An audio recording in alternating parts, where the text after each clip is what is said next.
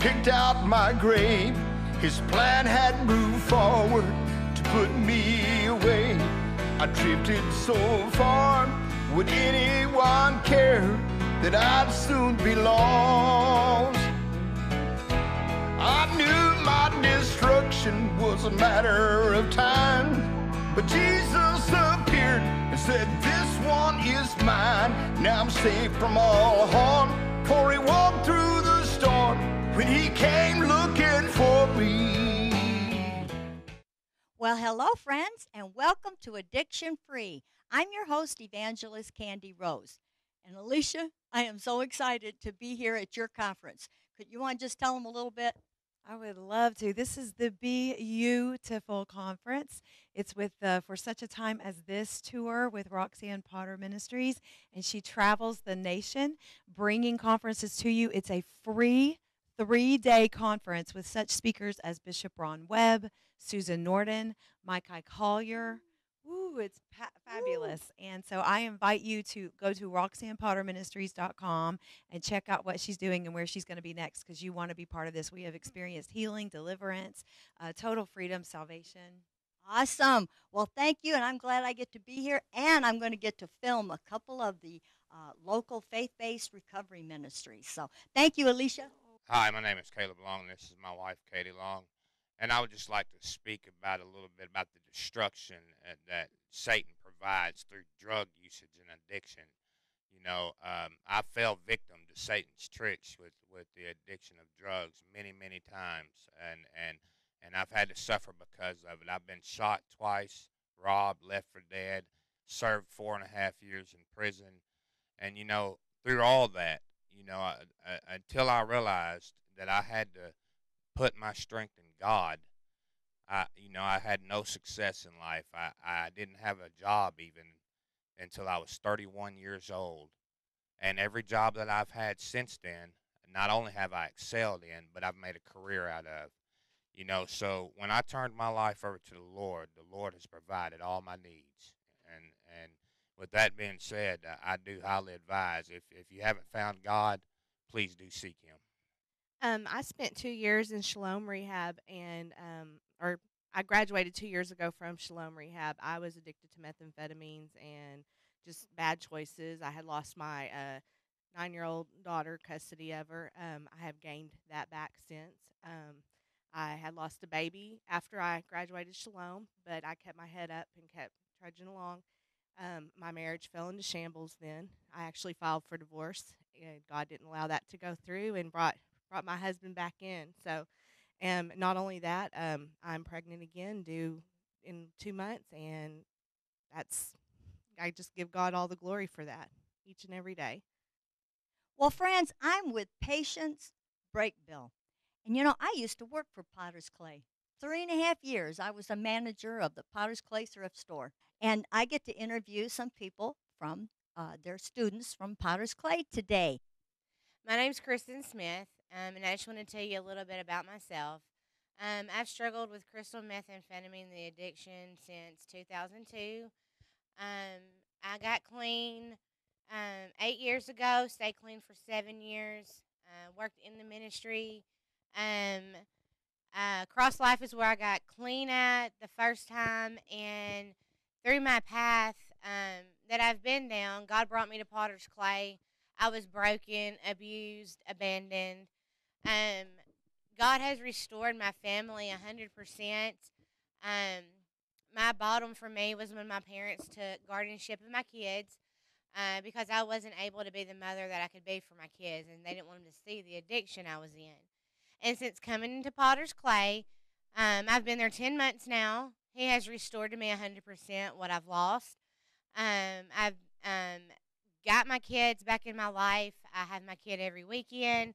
I am a graduate of Potter's Clay, um, and I stand witness to uh, the power of Christ and that every chain and every addiction can be broke. Um, all you have to do is just trust in God and believe Him.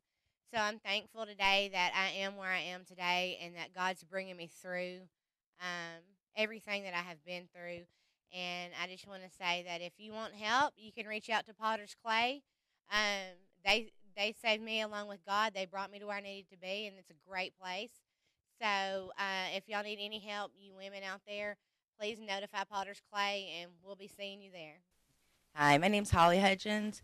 I wanted to tell you a little bit about my story. Um, I was married for 14 years, and my husband passed away. I do have a history of alcohol and drugs, but I had kind of gotten it under control. Uh, I was raised in the church, but I kind of fell away from the Lord when my husband died. Um, my little girl and I were heartbroken, and um, I I didn't handle it well. I had just moved here to be near my, my mother. She's 80 years old, and I wanted to help her, and I ended up not helping her. I ended up um, going to jail. I uh, wrecked a car. I saw my daughter go to jail. Um, over and over, I kept going, and and and I was angry. I was, I think, I might have been angry with the Lord, and um, I went to court and saw Judge Ohm, and I asked him for help because I had heard that he did help people, and I know he's a Christian man, and and he sent me to Potter's Clay, um, and then as I'm following Jesus and getting my relationship back with my, the Lord, my life is getting brighter and brighter. And I'm so grateful for Potter's Clay and for Pat Tackett, who took me in when I had no home because I lost my home and my dogs and my daughters with my mom now. And everything's coming back together thanks to Jesus Christ and all the people that are believers. Hello, my name is Farrah Pollock. And the moment I reside in Hot Springs, Arkansas at Potter's Clay my background is somewhat like a lot of y'all's probably. I came from a very abusive family, insane actually. My father was a drug addict, and I was always told that I was going to follow in his footsteps and become. I was nothing. I would be a drug addict in prison, and so I kind of self fulfilled that prophecy myself. And I started using drugs when I was 12 years old. I'm 56 now. I uh, my whole life was centered in drugs. That's all I wanted because I was looking for something that I couldn't find. I, I, I look. I always wanted God. I was grew up in the church, but I, I couldn't find the God that I grew up with was not the God that I know now. I was. I, I really came to hate God at a point in my life. I didn't believe in God. I didn't want to. Well, that's all changed. I've used meth. I was a IV drug user. I smoked crack. I was a prostitute. I did whatever I could. I lied. I stole. I hurt everybody and left a, a life of destruction. Everyone I touched, I destroyed. I destroyed their lives to the point of where I was nothing. I became homeless. I lived in the streets, seeking drugs, and one day I found myself in jail once again, and I didn't know what to do all the other programs didn't work. So I'm like, okay, God, I'm going to try you. Let's see what happens. And this lady came in and she was giving her testimony. She talked about she didn't want to be recovering, she wanted to be delivered. And when she said that, it went all off of my spirit. I never heard about deliverance. And I said, yeah, that's what I want. And I was delivered. and my life drastically changed. I was with the Lord for eight years. Five years into that, I started using drugs again. I don't know why, because I became very arrogant, prideful, judgmental. I'm judging the pastor and I find myself back out in the streets. But I had known God, and I knew if I didn't let go, if I just held on, that He would not leave me out there. That if I didn't let go of Him, He wouldn't let go of me. And He had a way out. And and His way out was Potter's clay. I come to Hot Springs, and they let me in. I didn't even know if that man. I didn't think that man was going to let me in. And I came to Potter's clay because I wanted my life back with the Lord. The using the drugs was irrelevant. I wanted I wanted back with God because I had that separation and it was horrible. Well, I am back with the Lord and I am so highly favored and I love Jesus more than anything. And that's what it's all about for me. You know, I, I thank Potter's Clay and I'm so grateful to them, but I thank Jesus. Hey everybody, Roxanne Potter here. We are at the Beautiful Conference in Hot Springs, and I just wanted to jump on here with Evangelist Kandi and just share with you my book called Do It Afraid. Uh, this I wrote this book when I went through cancer the first time. However, the devil thought he was going to attack me again, so there'll be another book coming out called Do It Afraid again. I'm going to win this battle. I'm victorious, and I'm not going to quit. Anyway, I host these conferences all over, and they are called For Such a Time as This Women's Conferences. Check out the website on face or, or Facebook. It's Roxanne Potter Ministries, either on uh, the internet or Facebook. And come find us. We'd love to have you. Conferences are free. Well, friends, once again, you've heard some wonderful testimonies of how Jesus has changed the lives of the guests that we had on this show. And I've got my friend Tammy Hearn here with me. She's my traveling assistant.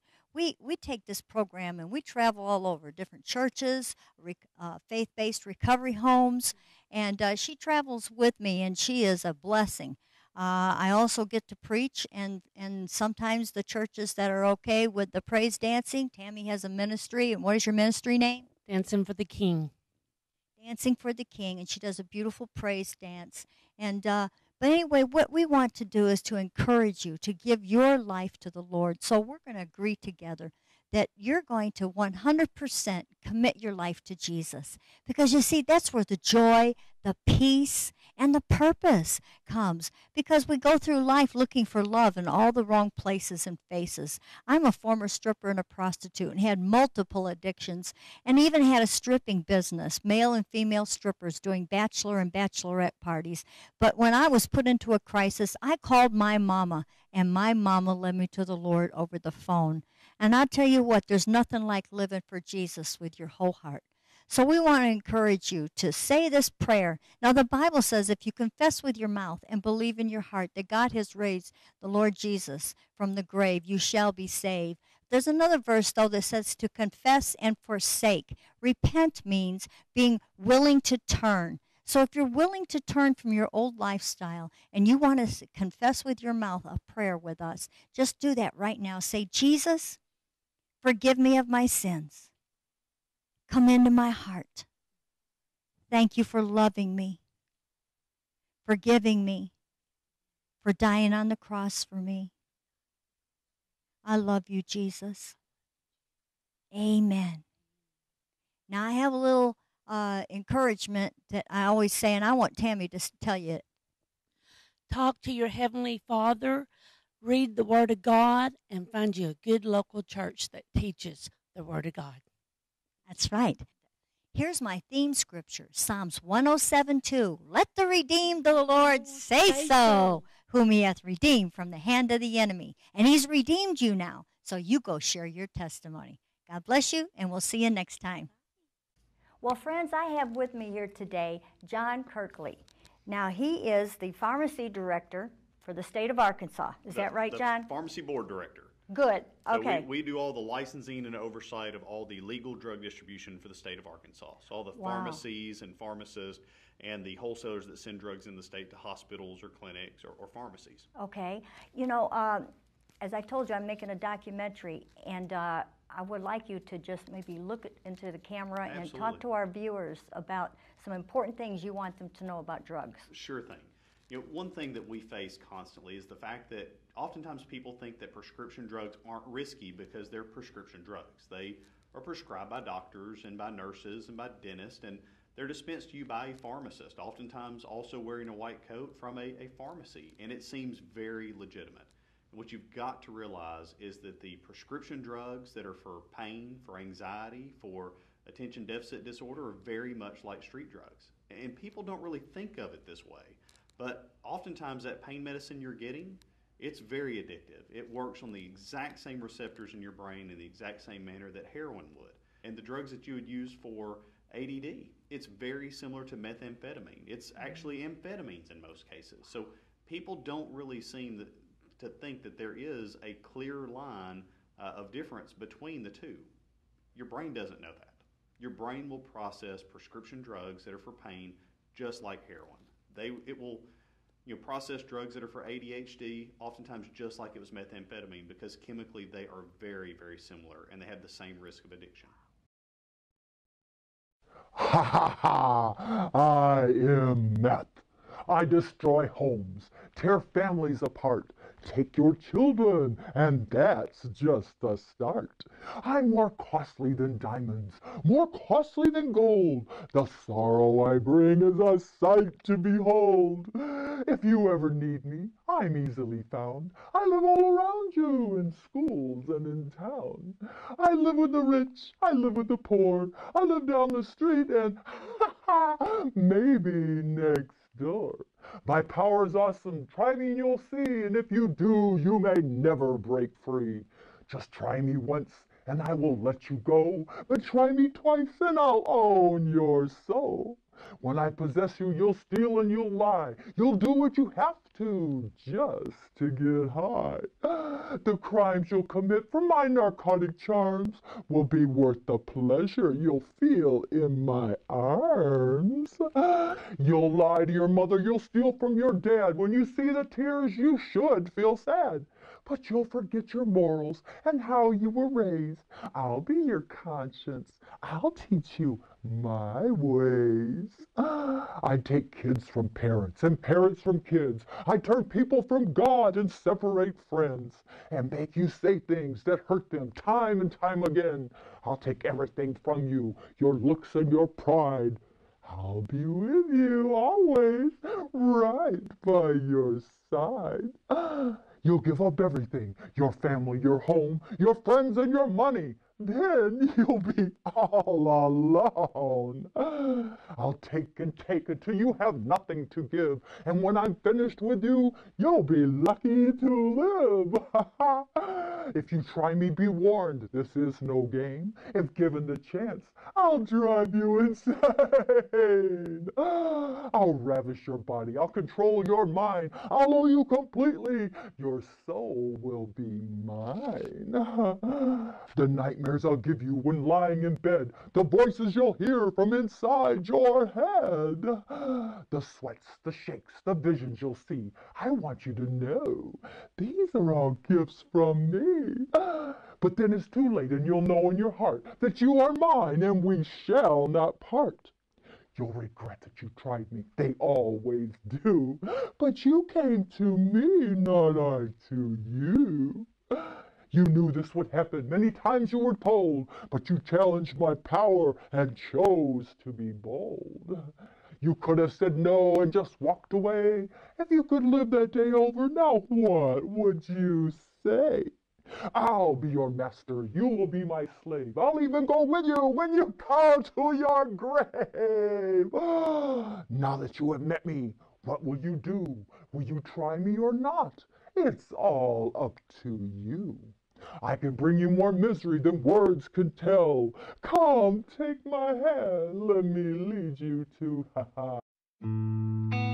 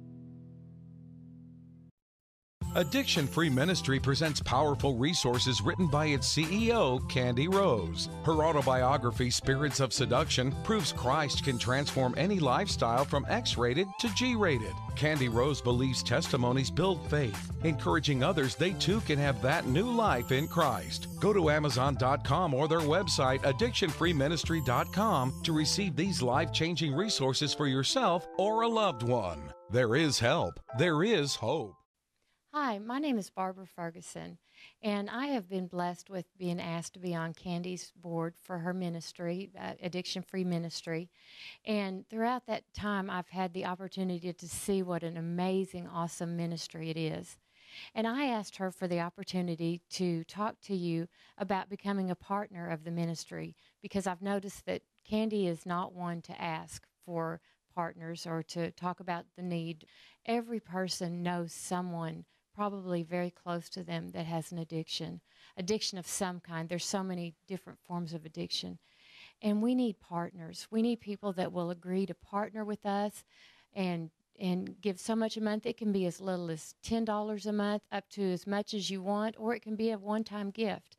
Anything you can do would really help the ministry. Just ask you, please, if you would prayerfully consider that because I know the Lord would, will bless you like He's blessed me. Hi, this is Kandi Rose, CEO of Addiction Free Ministry.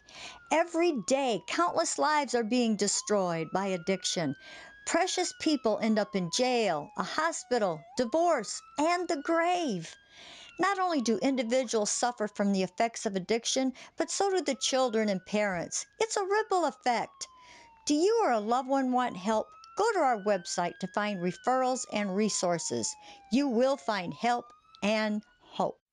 I'm Richie Willis, and this is my wife, Carly Willis. Uh, we both run homes in Hot Springs, Arkansas. We both come out of addictions and out of a long life of bondage of of drugs and alcohol, and uh, we've been set free by the blood of Jesus, and uh, God has radically taken over our lives. And now we both have ministries. She has a, a house for women, and I have a house for two houses for men, um, and they're faith-based houses, and we just thank God for it. Hi, my name is Jeremy Hudson. I'm the program director at the Father's House. We're located in Donaldson, Arkansas. We're a six month residential program that helps men and women with uh, addiction problems and other life controlling behaviors. You'll learn in our program how to not only work hard, but also through the disciplines of the Bible, you will learn how to follow God hard.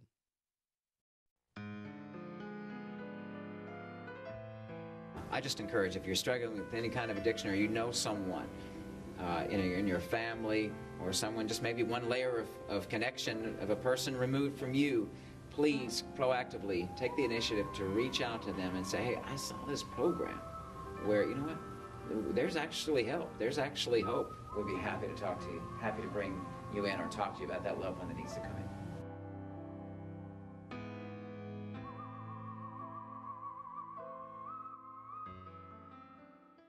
The Harbor Home is really a house of miracles. It is located in a small church in central Arkansas, in Conway, Arkansas, and it's a faith based program anywhere from six months to one year, uh, residential for women coming out of drug and alcohol addiction. We have women of all ages that come to the Harbor Home and from all over the United States. And really, an opportunity for you to come to realize your value and your worth and uh, really to develop and cultivate a real relationship with Jesus Christ, which we believe is the answer for all addictive behaviors. Tell me how you came to know. Him. Was it at some preacher's plea? Were you all bound up with worry? When he came to set you free, did it take you your whole lifetime the debt you owe? But did you answer him the first time and relinquish all control? I need to hear somebody testify. I need to hear somebody say you were lost and at the bottom, and you could not find your way. Just when life had lost all meaning, and you wish that you could die. Jesus came to you that day. You invited him to stay. I need to hear somebody testify. Were you born to some good family who expected you to stay? Living right there in the middle. Satan had already picked out my grave.